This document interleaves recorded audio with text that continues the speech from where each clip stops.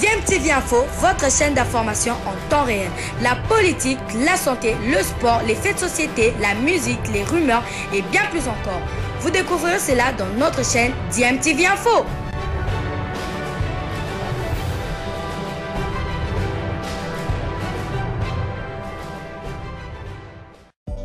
Vous êtes sur DMTV, hein, bonjour ou bonsoir, tout dépend de l'heure à laquelle vous nous suivez. Tout le plaisir est pour nous de vous retrouver et surtout de vous savoir toujours très nombreux à suivre votre chaîne YouTube DMTV.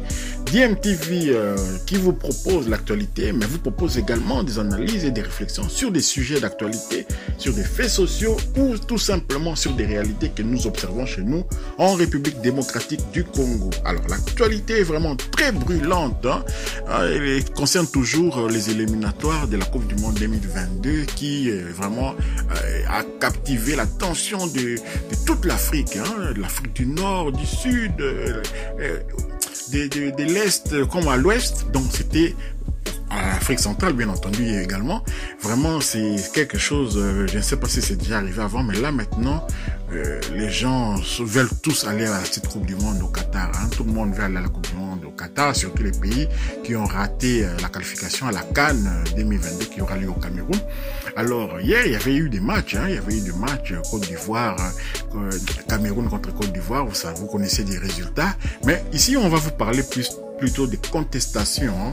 contestations. Il y a des pays comme ça qui ont du mal, mauvais perdants ou pas, je sais pas, vous allez vous-même juger, qui veulent contester les résultats, ils veulent aller en appel, ils veulent réclamer euh, la disqualification des autres, que les matchs soient rejoués pour d'autres. Donc voilà, c'est un peu ça. Euh, le Bénin a porté euh, réclamation. Hein suite au, à la campagne médiatique euh, des, des, médias français à propos d'abord du penalty et puis ensuite du, du des quatre changements opérés par le coach Hector Raoul Cooper durant le match RDC Bénin justement.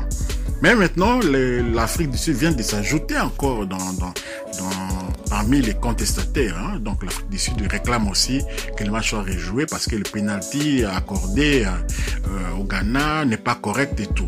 Nous, on a, on a visionné les images de FIFA TV et on s'est rendu compte que non, il y avait effectivement une petite poussée parce qu'il y a les gestes coupables du, défenseur. Hein. Juste après son forfait, il lève les mains pour dire qu'il n'y a rien du tout, mais il avait poussé. L'arbitre arrive et si vous lisez dans les lèvres de l'arbitre, je sais pas ceux qui peuvent lire dans les lèvres, l'arbitre dit yes, il lui dit yes et puis il explique. À un moment donné encore, il y a le gardien qui vient pour essayer de contester. L'arbitre dit, lui fait les gestes. Hein? Je suppose qu'il est en train de lui dire, toi ne dis rien, demande-lui. Et puis on voit les défenseurs, hein, il baisse la tête, il part tranquillement, il reconnaît les faits et tout. Effectivement, il a touché les Ghanéens dans les dos. Pénalité incontestable. Il y a faute et l'arbitre avait été dans l'axe, il a bien vu l'action.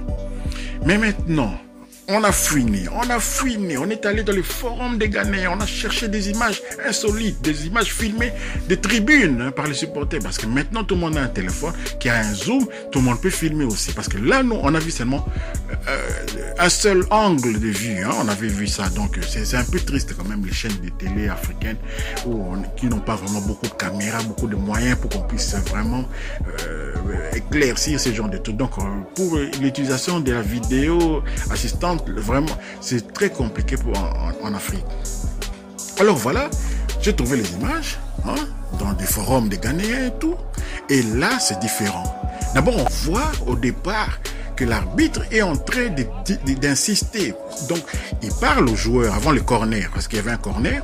Pour le Ghana, l'arbitre parle aux joueurs, il leur demande de ne pas euh, commettre de fautes, il explique, non, moindre contact, je vais accorder pénalty. Le corner est tiré, les ballons arrivent, et puis ensuite, on voit, donc ça c'est une vision hein, de tribune, hein, on voit effectivement le joueur, il y a un contact avec les, joueurs ghanéens qui s'écroulent un peu facilement. Maintenant, j'ai revu encore les images, comme je vous, je le montre là. J'ai revu encore les images pour voir qu'est-ce qui s'est passé pendant ces fameux corner. Le corner s'en va, les ballons arrivent, il y a un défenseur euh, sud-africain qui normalement aurait dû enlever ces ballons-là de la tête. Ce défenseur-là est poussé par les Ghanéens. Les Ghanéens, ils poussent les, défenseurs euh, sud-africains et après l'avoir poussé, c'est les Ghanéens qui, en reculant, percutent les défenseurs, l'autre défenseur sud-africain qui évidemment a, a, placé sa main. Donc c'est un réflexe. Quelqu'un qui recule sur toi, tu as tendance à... Dès que le, les Sud-Africains l'a touché, le Ghanéen s'est écroulé, l'arbitre a accordé pénalty. Là maintenant, ça devient différent. Donc c'est comme si c'est un coup monté bien préparé.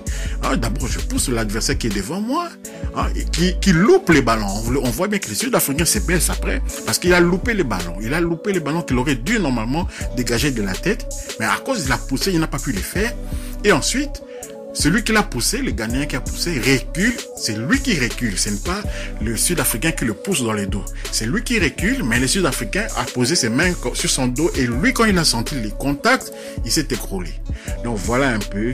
Je pense que normalement, si les, Sud-Africains ont un bon avocat avec des vidéos de, ce genre, ils pourraient peut-être obtenir gain de cause. Hein. Ça peut arriver. L'erreur est humaine pour l'arbitre sénégalais, sauf qu'il y a un contentieux entre les Sénégalais et l'Afrique du Sud et qui avait été justement départagé il y a quelques années euh, par un arbitre ghanéen, l'arbitre ghanéen.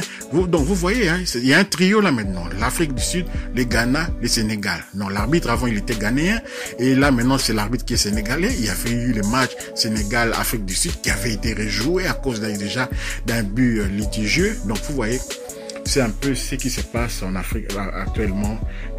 Après, si on dit que pour ce genre de match, il faut que les arbitres soient européens, ça va encore poser problème parce qu'un arbitre européen peut venir avec des complexes et tout. Vous savez, certains arbitres, ils sont favorables, plutôt favorables aux équipes qui ont des stars, hein, des joueurs qui sont connus. Donc, par exemple, un match entre les Sénégal ou bien, d'ailleurs, on a vu, hein, le match Égypte-Angola, euh, ben, l'arbitre, au moindre contact sur Mossala, l'arbitre sifflé hein, parce que c'est une star, on peut pas les toucher et tout. Ça arrive aussi même en Europe avec Lionel Messi, quand tu le touches un peu comme ça, l'arbitre va siffler.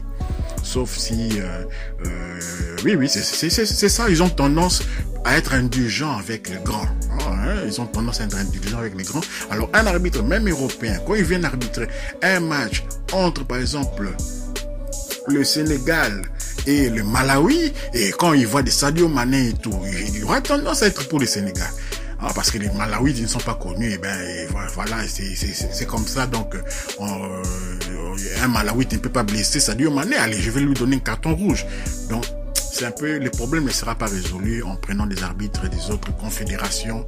Euh, J'avais parlé ici dans, dans, une de mes analyses que la Belgique avait été spoliée à la Coupe du Monde 2002 par un arbitre jamaïcain justement. Euh, C'était le match Brésil-Belgique. La Belgique avait marqué un but valable, mais l'arbitre jamaïcain qui l'a reconnu, hein, c'est pas moi qui l'ai dit, cet arbitre jamaïcain l'a reconnu après que oui, il y avait, il y avait effectivement un but valable, mais je pouvais pas croire que la Belgique peut marquer contre le Sénégal, contre le euh, voilà le Brésil. Donc vous voyez, c'était le Brésil, euh, le Brésil du Ronaldo, hein, du Rivaldo et tout là. Donc voilà, la Belgique avait été spoliée d'un valable parce que ça ne pesait pas, la Belgique ne pesait pas par rapport au Brésil. Comment la Belgique peut ouvrir la marque Et voilà, tout de suite penalty.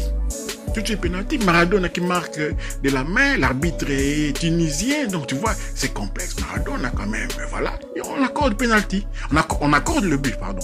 On accorde le but.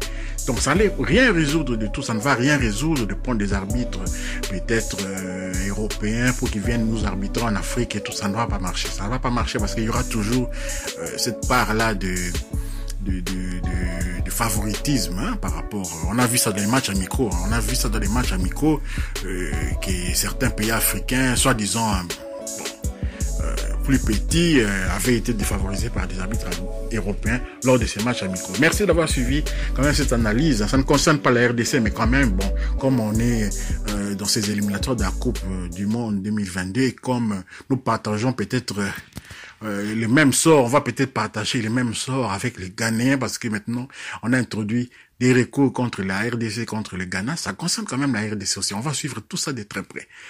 N'oubliez pas de partager, de liker d'activer la petite cloche de notification hein, afin d'être alerté dès qu'on on mettra une nouvelle vidéo en ligne. DMTV vous remercie et vous dit au revoir.